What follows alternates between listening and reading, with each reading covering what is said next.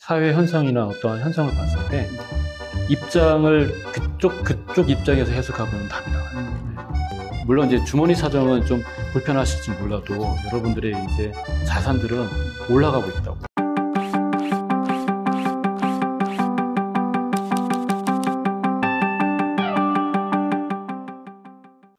근데 뭐 최근에 뉴스 보니까 미국 연방준비제도가 자산을 축소한다. 예, 예. 뭐 이런 문구가 있더라고. 이건 어떤 의미인가요? 그러니까 이런 겁니다. 그동안 돈을 많이 풀었는데 네. 제가 우리 이제 우리 대표님한테 제가 이제 100억을 이제 어렵다고 해가지고 네. 사업하겠다고 했는데 100억이 필요하다고 드렸어요. 네. 근데 이제 어느 정도 그 돈을 가지고 네. 잘 이제 운영이 되셨어요. 네. 되셨는데 또 돈이 필요하시다는 네. 거예요.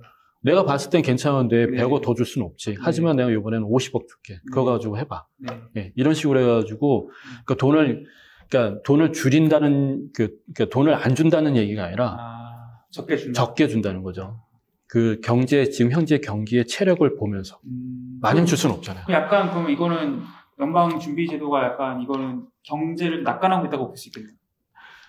그렇죠. 그 돈을 이제 줄여도 되는 거, 그 다음에 네. 우리가 이제 양적 완화 종료라는 거, 그 다음에 이제 돈을 회수하는 걸 긴축 정책이라고 네. 하는데 여기에 그 우리가 시중은행으로 관점을 보시면 안 되고요. 중앙은행은 어쨌든 경기를 그 좋게 만들고 있는 그 부양하는 거잖아요. 네.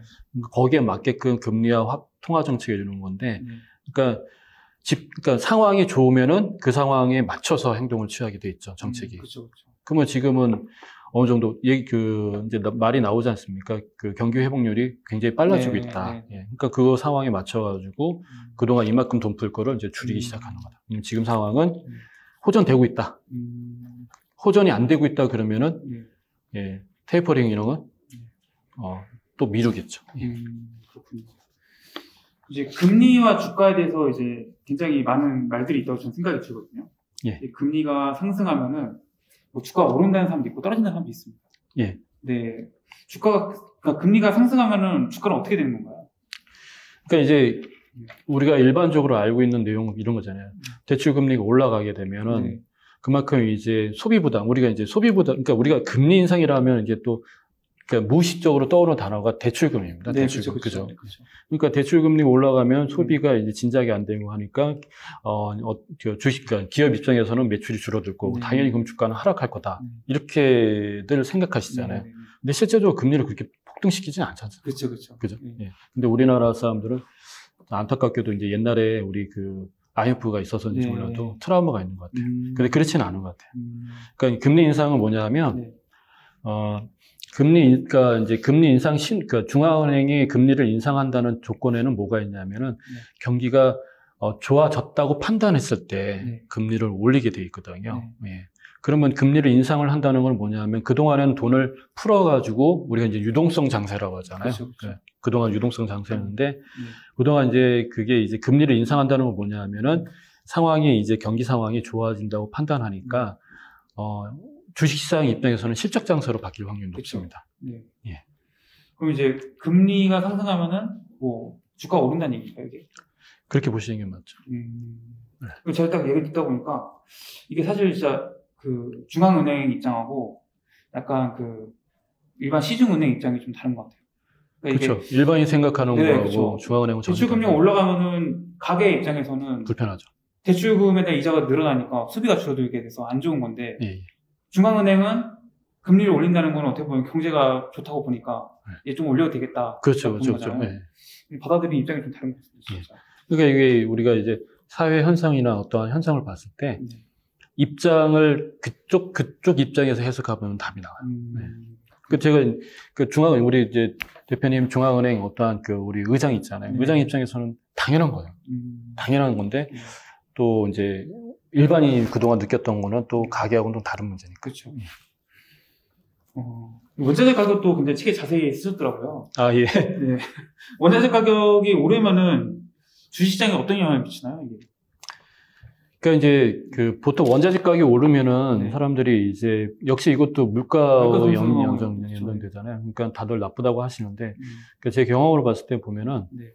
일단 나쁜 건 사실입니다. 예. 음. 나쁜 건 사실이죠. 네. 그런데 주식 시장하고는 또 다른 문제라는 얘기죠. 어, 예. 네.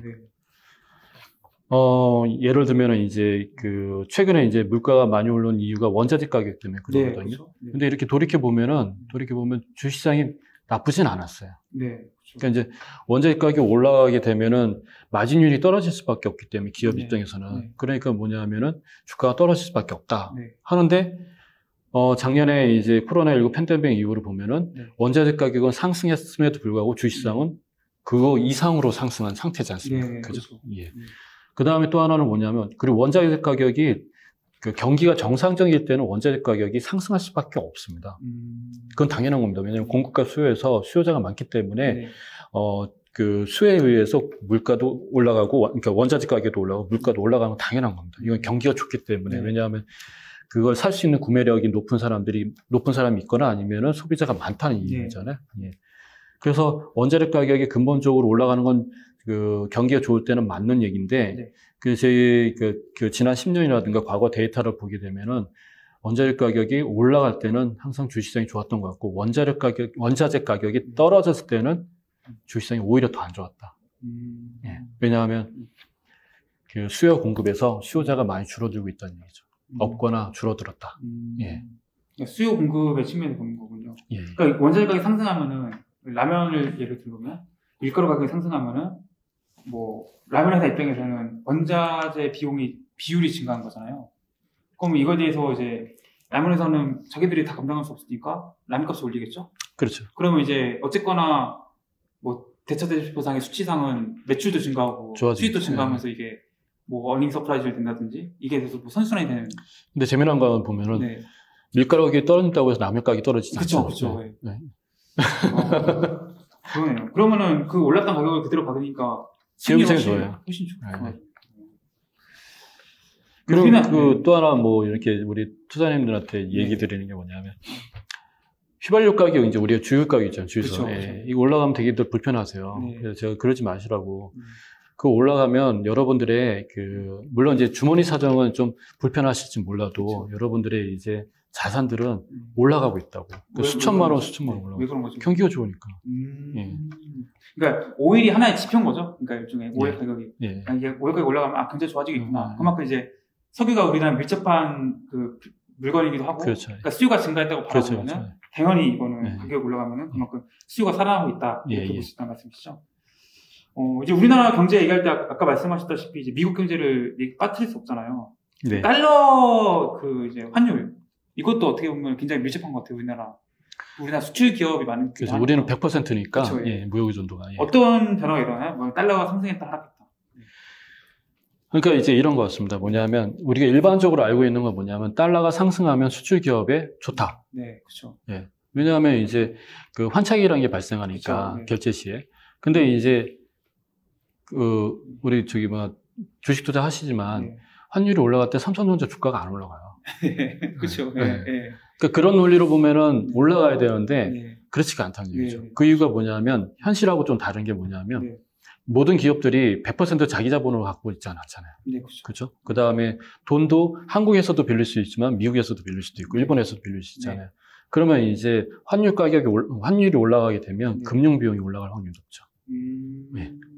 또 그 다음에 뭐냐면 우리가 이제 어 우리는 이제 완제품을 이제 만들어서 수출하는 국가잖아요. 네. 그러니까 이제 해외로부터 뭐 소재 부품 장비 뭐 이런 것도 들어와야 되잖아요. 그러면 그만큼 비용이 또 올라가잖아요. 그렇죠, 올라가죠. 예. 그러니까 그런 부분이 사실은 이제 실제적으로 환율 상승하는 데 있어서 수출 기업 입장에서 보면 불편한 지 불, 불편한 거죠. 음. 예. 그래서 기업들은 이제 환해, 환차, 손, 환차에게 굉장히 민감합니다. 아, 예, 그 다음에 또 하나가 뭐냐면 이제 환율이 올라가게 되면 네. 외국인 투자자들이 어, 주식 투자하는 거에 대해서 약간 꺼려요. 왜요, 왜요? 그러니까 이제 먼저 들어 예를 들어서 A라는 기업, A라는 기업을 투자하시는데 어, 1달러에 1,000원 주고 이제 먼저 들어오셨어요. 네. 근데 내가 나가야 될 시점에 네. 내가 다시 미국, 예를 들어 미국 투자다. 미국으로 다시 나가야 될 시점에 1,000원이 아니라 1달러에 1,000원이 아니라 1달러에 1,100원이 됐어요. 네.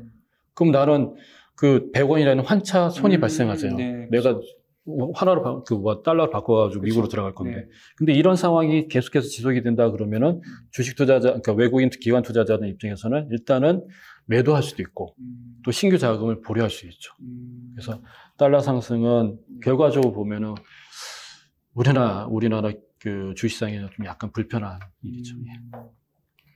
되게 복잡한 거네요, 사실은. 일반적인 생각과는 좀 실질적으로 움직이는 거는 많이 다르네요. 다르죠. 그래서 이제 환율은 제가 그 이렇게 말씀드리고 싶어요. 뭐냐면 환율하고 주식은 반비례다. 어, 그 얘기는 환율이 올라가면 주식은 하락한다는 말씀이죠. 그렇죠. 왜, 왜냐하면 외국인이 팔고 나가는 거잖아요. 음. 예. 근데 환율이 이제 떨어진다는 건 뭐냐면 외국인이 어, 사러 들어오는 거거든요. 네. 예. 그러니까, 그러니까 기업 입장에서 음. 보는 내용하고 또 그다음에 그 기관 그러니까 외국인 기관 투자자 입장에서 보는 거하고 또 다른 개념으로 그렇죠. 두 가지로 이제 해석을 하셔야 되는데 네. 어 아까는 이제 기업하는 사람들이 불편한 거고 네. 그 다음에 이제 우리가 이제 미국인 투자자라 입장이라 보면은 한국 주식을 살려면은 한국 기업이 좋아서 미국 기업보다 수익이 좋아서 한국 기업을 살려고 한다 그러면은 음. 달러 갖고 있는 거를 원화로 바꿔야 돼요. 환전을 해야 그렇죠. 되죠. 네. 그래야지만 한국 주식을 살 거 아닙니까? 네. 그죠? 그러니까 뭐냐면 이게 겨- 한국이라는 나라가 굉장히 좋다. 그러면은 많은 외국 기관 투자자를 많이 들어오기 때문에 뭐냐면 원화가 강세가 될 확률이 높죠. 그러니까 쉽게 이런 거죠. 그러니까 내가 만약에 1만 불을 갖고 있는 외국인이라고 했을 때 예. 한국 시장에 투자하고 싶다. 근데 환율이 만약에 천 원이면은 우리나라 돈으로 천만 원을 투자하는 거잖아요. 예. 근데 똑같이 이제 환율 올라서 이게 1,200, 200원이 되면은 나는 1만 불 갖고 똑같이 투자하는 거지만 우리나라의 그 주식을 살 때는 1,200만 원을 가지고 사는 거랑 똑같은 효과인 거잖아요. 네. 그래서 이런 이제 환차이 환차손 때문에 외국인 투자들의 움직임들이 영향을 받는다는 그렇죠. 그런 것도 있고, 음. 그 다음에 이제 수익률 측면에서 꼭 우리가 그런 거 있잖아요. 경기가 좋으면 한국 주식만 안 하고 베트남 주식도 하시잖아요. 그렇죠. 네. 그런 관점에 보시면 되죠. 음, 책에서 굉장히 그 재미있던 표현 중에서 네. 버블은 남에게 악재고 나에게 최대 기회라고 하셨어요. 아니, 너무 너무 좋았어요 이 표현이. 그래서 이게 어떤 의미인지 좀 풀어주면 좋을 것 같아요. 참 이 말이 누구한테는 진짜 불편하죠. 네, 그렇죠. 예. 그러니까 이제 그러니까 경험이 많으신 분들 같은 경우는 이 상황을 이해하고 그러니까 몇 번 이 사이클을 겪어보신 분들 입장에서 보면은 네. 그러니까 작년 3월달 같은 경우는 이제 기회가 됐었던 거죠. 그렇죠. 기회가 됐었죠. 근데 이제 경험이 부족하신 분들이나 아니면은 그런 부분이 그러니까 공부가 안 되신 분들 네. 이런 분들은 작년 3월달에 어찌 보면은 악몽 같았을 그렇죠. 예. 계속 떨어지니까. 네. 근데 이거를 좀 우리가 역발상 투자라 하잖아요. 네. 예, 이- 그래서 제가 이런 얘기 드립니다. 뭐냐면, 어, 모든 주식이 네. 다 같이 패닉 상태로 갈 때는 절대 거기 동요되지 마라. 음. 그러나 남도 잘 가는데 내 것만 하락하고 있다. 네. 그건 진짜 신경 쓰셔야 된다. 그러니까 전체 시장이 막 좋을 때는 같이 가야 되는 거고, 아니 그 반대로 가야 되는 거고, 내 것만 딴 사람 다 좋은데 나만 좋으면 내가 문제가 있다는 말씀이죠. 그렇죠. 그러니까 남도 다 좋은데 내 것만 네. 안 좋으면 내가 문제 있는 거죠. 근데 이게 참 어려운 게 버블이라는 게 참 어려운 것 같아요. 예, 법으로. 법을 어떻게 봐야 이게 판단 기준. 그러니까 이게 버블은 사실 이게 정답은 없죠. 네. 네, 버블이 이게 버블인지 아닌지 어느 누구도 잘 몰라요. 네. 네. 다만 이제 우리가 이제 거시경제 관련돼 가지고 여러 네. 가지 이제 그 징후들을 이제 감지는 할 수 있죠. 음. 예. 왜냐하면 돈이 많이, 많이 풀린 상태에서 돈을 네. 또 회수하고 시중에 돈이 없으면은 뭔가 자금 조달의 문제가 발생할 수도 있는 거고 네. 뭐 여러 가지 또 그 상황이 발생했을 때 과연 이제 이거를 법을 볼 것이냐 안볼 네. 것이냐 이런 해석이 많이 필요한데 네. 결국은 이제 두 가지인 것 같아요. 하나는 이제 그 경험이 필요하시 경험이 또 필요하고요. 네. 하나는 뭐냐면 어, 공부가 좀 돼야 되지 않을까. 음. 예. 단순하게 사고팔고에 대한 문제로만 해석할 수는 없습니다. 어, 그, 그 사고팔고 하는 걸 가지고 네. 우리가 주식 세계에서 이게 버블이 올 것이다, 안 올 것이다, 이런 거는 사실 감을 잡을 수는 없잖아요. 그 그 공부- 거시경제가 좀 필요하죠. 그 공부라는 거는 뭐 여러 가지 경제 지표 같은 걸 말씀하시는 건가요? 그렇죠. 예, 금리도 아까 네. 말씀드렸던 거- 금리, 그 다음에 환율, 네. 채권, 네. 그 다음에 이제 원자재 가격, 네. 예, 이런 것들이 다 복합적으로 이렇게 좀 음. 조합을 이뤘을 때, 그 다음에 거기에 따른 경험까지 들어가면. 어, 요즘 유튜브 보면은 그 존리 대표님이 이제 오량주를 오래 가지고 있으면 장기 투자하면은 부자가 될 수 있다. 행복한 노후를 보낼 수 있다고 많이 강조하시잖아요. 예. 근데 그렇게 말씀하신 이유가 이제 사실은 그 주식 오래 갖고 있기가 생각보다 쉽지 않잖아요. 왜 그럴까요, 그거는? 그러니까 이게 네. 제가 그 우리 대표님한테 질문 드리면, 네. 어, 편의점을 다섯 개를 운영하고 계세요. 네. 다섯 개를. 네. 근데 하나는 진짜 잘 돼. 네. 하나는 뭐 그래도 잘 돼. 네. 보통 잘 돼. 하나는 네. 그냥 본전이야. 네. 또 하나도 뭐 그런 그런 대로. 근데 하나는 적자야. 네. 계속 적자야. 네. 이거 어떻게 하실래요? 어, 처분해야죠. 예. 네. 주식도 마찬가지입니다. 아. 내가 다섯 개의 기업을 갖고 있는데 네. 그 우리가 장기 투자에 대한 오해, 잘못된 오해일 수도 있어요. 네. 아니면 정리하셔야죠. 음. 정리해야 되는 이유가 뭡니까 이게? 다섯 개 다섯 개 중에 네 개는 잘 가는데 얘만 안 그쵸, 되고 예, 안 있잖아요. 있죠. 예. 이유는 간단해요. 뭐냐면은 이 네 개는 우리가 얘기하는 큰 트렌드를 타고 가고 있거나 네. 아니면은 뭐 업적이 실적이 좋아서 잘 네. 가고 있구나. 네. 근데 얘 같은 경우는 뭐냐면 그 좋은 트렌드를 갖고 있고 좋은 업황을 갖고 있음에도 불구하고 네. 내가 잘못 골랐어. 그럴 수 있지 않습니까? 그런 기업일 수도 있고 아니면은 트렌드를 완전히 벗어난 기업일 수도 있고 음. 내가 잘못 선택한 거죠. 네. 그러니까 이게 장기 투자라는 거는 그러니까 우리가 이제 손절매 하면 안 된다 안 된다고 하지만 네. 손절매라는 게 투자라는 거는 우리가 이제 기업하고 같이 영원히 갈 건 아니잖아요. 그렇죠. 삼성전자가 10년 후에 어떻게 될지 모릅니다. 그지 모르죠. 예. 근데 우리는 항상 거기에 대해서 어 그 뭐랄까 의심을 할 건 아닌데 네. 좋게 생각하되 항상 우리가 이제 어 좀 뒤로 한 발짝은 물러나서 객관적으로 필요 있죠. 음. 하지만 장기 투자는 맞습니다. 음. 예. 그 이제 옆발상 말씀하셔서 그, 그 이- 이렇게 생각할 수 있잖아요. 예를 들어서 그 다섯 개의 편의점이 있었는데 그 적자나는 걸 처분한다고 했잖아요. 근데 이걸 보고서 다섯 번째 편의점을 이- 마이너스니까 싸게 살 수 있다 생각할 수 있잖아요. 이런, 이런 게 옆발상 투자 아닌가요? 이런 게 어떻게 생각하시나요? 그 네. 안 되는 데는 안 되는 이유가 있더라고요. 큰 흐름을 타고 가야 된다 일단. 음, 알겠습니다. 그 예를 들어서 주식시장에 보면은 네. 바닥이 있다고 생 이게 바닥이라고 생각했는데 네. 또 바닥이 있어요. 네. 그다음 뭐냐면 또 지옥까지 네, 가잖아요. 지하, 예, 지하 예. 그죠. 예. 그러니까 이게 그 기업이 그 한 번 이렇게 우리가 이제 시- 저는 이제 이런 얘기 드리거든요. 10년짜리 차트를 한번 봐라. 네. 예, 그거는 뭐냐면 그 기업의 업황과 그다음 기업의 역사가 그대로 담아 있는 거다. 음, 예, 예. 근데 10년 동안에 주가가 우하향하는 거는 다 이유가 있는 이유, 이유가 있는 거죠. 음, 근데 이런 경우는 있어요. 네. 오랫동안 이렇게 하향하다가 하향 그러니까 하향 곡선을 타다가 이렇게 반등하는 기업이 있어요. 네. 예. 그러니까 예를 들어서 개인이 네. 개인도 마찬가지입니다. 개인이 뭐, 뭐 파산해가지고 재기하는데 되게 어려운 시간 걸리잖아요. 네. 그죠? 근데 기업이 안 좋다가 다시 옛날처럼 잘 된다는 건 이거는 정말 뭔가 획기적으로 바뀌, 바뀌었다는 얘기입니다. 음. 예. 그래서 그런 상황에 처해 있는 기업을, 그러니까 그런 상황을 만든 기업에 투자하셔야지만, 음. 어, 이게 성공적인데, 근데 계속 하라고 있는 거는 음. 그게 바닥이 아니라 또 내일이 바닥이 있어요. 그 많은 분들이 역발상 이렇게 뭐 투자, 역발상 생각하시면 남들과 다르게 하는 거, 혹은 남들과 반대로 하는 거라고 많이 말씀을 하세요. 예. 역발상을 어떻게 정해야 돼요? 아, 역발상은 네. 역발상 할 때가 있거든요. 예를 들어서 네. 작년 같은 팬데믹 같은 경우는 네. 그건 진짜 역발상 하셔야 되는 게 맞고 네. 그리고 주가가 이렇게 예를 들어서 뭐 그렇지 주가가 이렇게 폭락하고 있는데 이렇게 네. 폭락하고 있는데 이거를 싸다고 사셔가지고 이거 네. 2천 원이니까 네. 한그 금방 한 5천 원 된다. 네. 그그 매수자들이 없는데 혼자만 거기 거예요. 네. 그건 역발상이 아니죠. 아, 그러니까 역발상은 되는 기업에서 일시적으로 주가가 외부의 영향에서 주가가 폭락할 때 음, 이때는 이건 역발상이 필요합니다. 음, 그러나 그게 아니라 그 외부 영향에서 일시적으로 폭락했을 때는 투자해도 되지만 네. 근데 시간이 흐르면 흐를수록 계속해서 하락하고 있는 것 아, 이건 역발상 하면 안 되죠. 아, 특히 여기다 물타기 하시면 안 되고. 아. 책에서도 이제 그 기업에는 현금이 많기 때문에 부는 기업에 있다. 이거는 어떤 말인가요? 이건?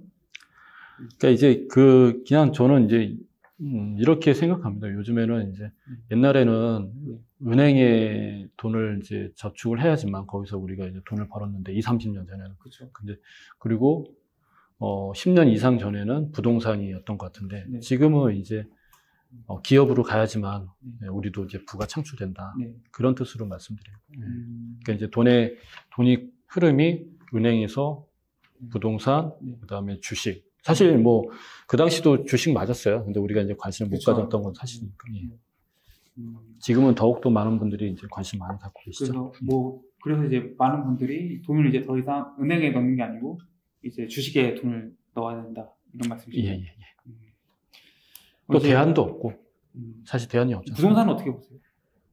어, 부동산은 저는 긍정적으로 봅니다. 왜냐하면 아까 말씀드린 대로 주식이나 부동산 같은 경우는 이게 하나의 이렇게 물건 덩어리잖아요. 네. 예, 그러니까 물가가 항상 올라가는 추세지 떨어지는 추세는 아니잖아요. 예, 그러니까 궁극, 궁극적으로는 우상향이 되는 건 맞, 맞을 것 같아요. 물론 이제 가격 조정은 항상 있게 마련이겠죠. Hey, I got a confession. Been losing all momentum.